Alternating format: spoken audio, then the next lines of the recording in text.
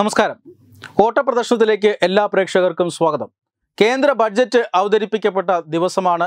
ബഡ്ജറ്റിനെ കുറിച്ചുള്ള പലതരത്തിലുള്ള വിലയിരുത്തലുകളും ബഡ്ജറ്റിനെതിരെയുള്ള വിമർശനങ്ങളും അതുപോലെ തന്നെ പിന്തുണ അറിയിച്ചുകൊണ്ടുള്ള പലരുടെയും പ്രസ്താവനകളുടെയും ഒക്കെ സമയമാണ് ഈ സമയം. ബഡ്ജറ്റിനെ അനുകൂലിക്കുന്നവരും പ്രതികൂലിക്കുന്നവരും കർശനമായി വിമർശിക്കുന്നവരുമൊക്കെ നമ്മുടെ സമൂഹത്തിൽ ഉണ്ടാകാം.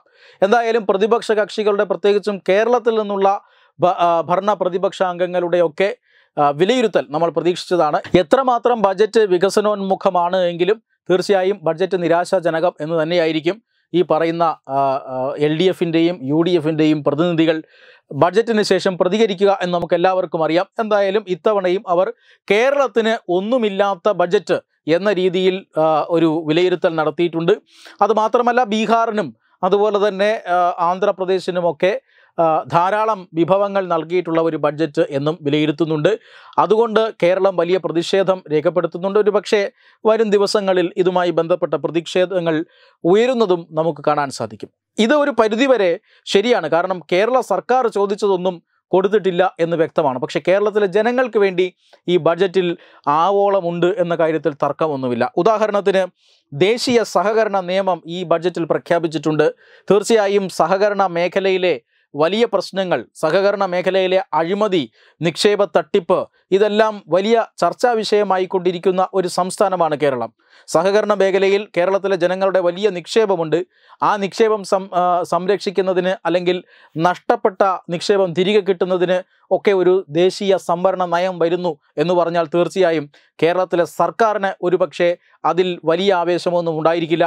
പക്ഷേ കേരളത്തിലെ ജനങ്ങളെ സംബന്ധിച്ചിടത്തോളം അത് ജനങ്ങളെ നേരിട്ട് ബാധിക്കുന്ന പ്രശ്നമാണ്. കാരണം അവരുടെ സമ്പാദ്യം മുഴുവൻ സഹകരണ ബാങ്കുകളിൽ നിക്ഷേപിച്ച് നഷ്ടപ്പെട്ട നിരവധി ഉദാഹരണങ്ങളും പരാതികളും കേരളത്തിലുണ്ട്. അവരെ അഡ്രസ്സ് ചെയ്യാൻ അല്ലെങ്കിൽ അവരുടെ പ്രശ്നത്തിന് പരിഹാരം കാണുന്ന ഒന്നായിരിക്കും ദേശീയ സഹകരണ നിയമം എന്ന കാര്യത്തിൽ തർക്കമൊന്നുമില്ല. മാത്രമല്ല ഈ രാജ്യത്തെമ്പാടുമുള്ള വിദ്യാഭ്യാസ മേഖലയ്ക്കും നൈപുണ്യ മേഖലയ്ക്കും യുവജനങ്ങൾക്കുമായി ബഡ്ജറ്റിൽ പ്രഖ്യാപിച്ചത് നാല് ലക്ഷം കോടിയിലേറെ രൂപയുടെ പദ്ധതിയാണ്.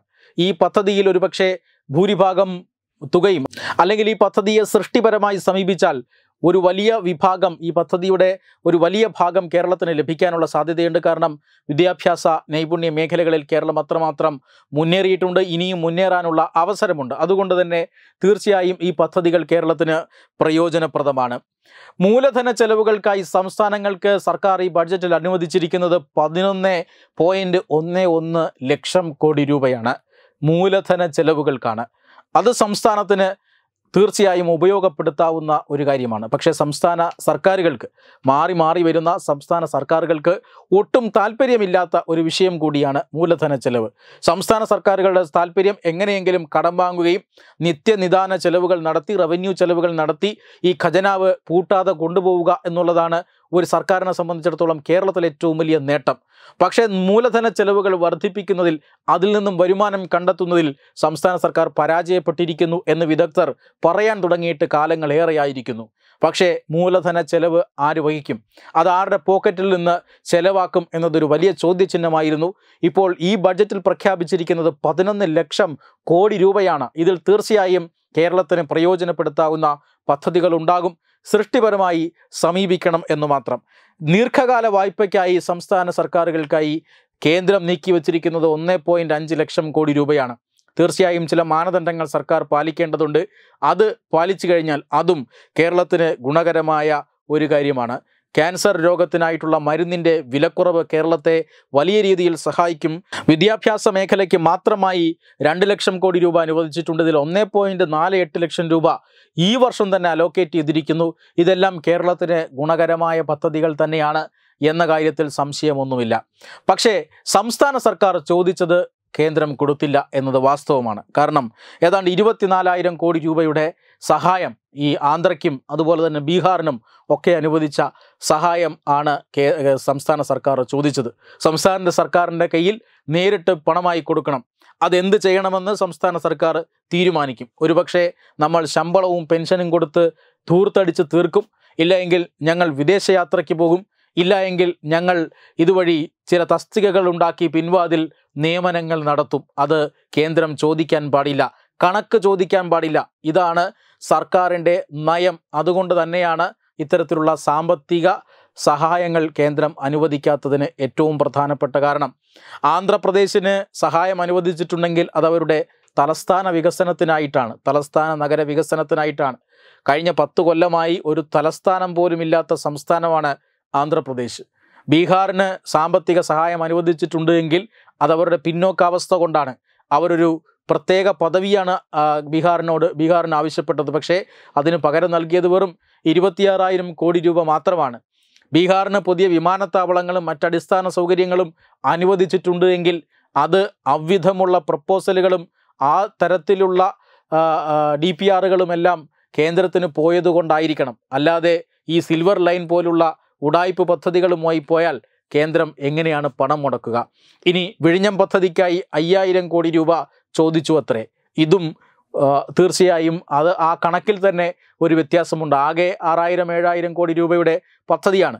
അതിൽ എണ്ണൂറ്റിയെട്ട് കോടി രൂപ ഇപ്പോൾ തന്നെ കേന്ദ്രത്തിന്റെതായുണ്ട്. ഇനി അയ്യായിരം കോടി രൂപയെ കൂടി അനുവദിച്ചാൽ അത് മുഴുവനായും കേന്ദ്രത്തിന്റെ പദ്ധതിയായി മാറും. പിന്നെ സംസ്ഥാന സർക്കാരിന് എന്ത് റോളാണ് എന്നത് അവിടെ ചോദ്യം ബാക്കി നിൽക്കുകയാണ്. എന്തായാലും വിഴിഞ്ഞമടക്കമുള്ള പദ്ധതികൾക്കായി കേന്ദ്രത്തിൽ നിന്നും ഫണ്ട് വാങ്ങിയെടുക്കാമായിരുന്നു. വളരെ ഭാവന സമ്പന്നതയുള്ള പദ്ധതികൾ ഇവിടെ രൂപീകരിച്ച് കേന്ദ്രത്തിന് നൽകിയിരുന്നുവെങ്കിൽ തീർച്ചയായും ആ പദ്ധതികൾ നേടാമായിരുന്നു.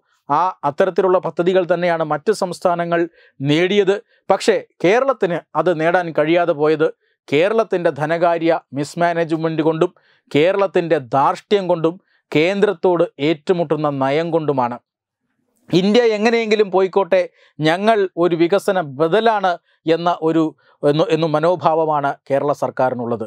കേന്ദ്രം പണം തന്നില്ല എങ്കിൽ അതിനാവശ്യമായ തിരുത്തലുകൾ വരുത്തി കേന്ദ്രത്തെ സമീപിക്കുക എന്നതിനു പകരം കേരളം ചെയ്തത് സുപ്രീം കോടതിയെ സമീപിക്കുക എന്നതാണ്.